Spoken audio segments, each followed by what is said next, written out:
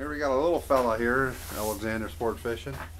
What you got on there, partner? And white fish. You got a whitefish, huh? Or you got a clump of zebras, or you got a goby.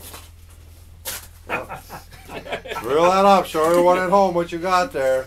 That's what you call zebos. Zebra mussels, for those to uh, be exact. It's a clump of zebra mussels. Well, why don't you take it off, show everybody at home what you do with those. Do you eat them?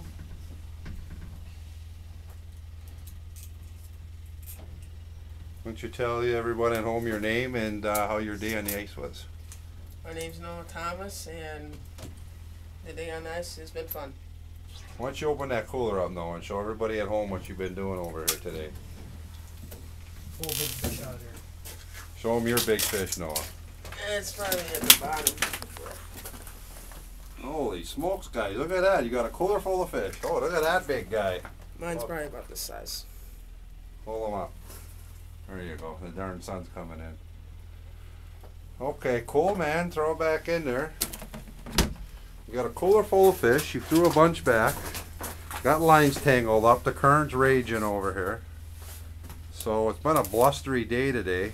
Uh, we had 30, uh, 30 mile an hour winds today. The, the wind chills were 20 plus below this morning, but the guys braved it out here and uh, they made her out today, and they, they'll have themselves a limit of whitefish. Uh, no, why don't you show everybody at home how you jig these things? Drop your hook down and give everyone a little demonstration what you've been doing that's been working for you. You like that? Drop down the hole. Drop her down the hole. Then what do you got to do? You try finding bottom. Yep. Good.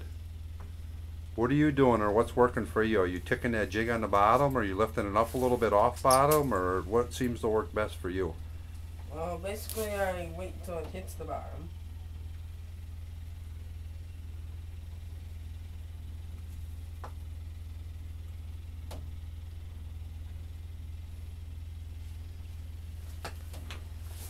And then uh, kind of let it go a little bit.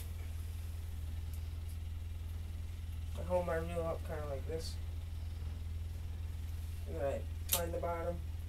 I hold my reel up like this. Okay. So you're holding your reel up a little bit. You're finding bottom. Yeah. Then you reel down on it a little bit. Yeah, I go up and down like this. Oh, I got you. Okay.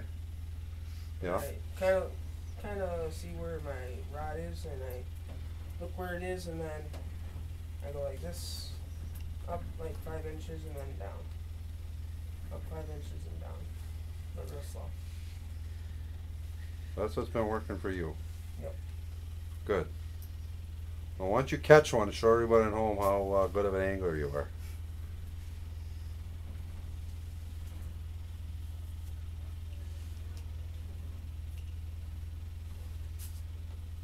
Got some muscle probably. Well, you got bottom there. Well, we'll get back with you guys. Check us out. Alexander Sport Fishing, Ice Fish, Green Bay.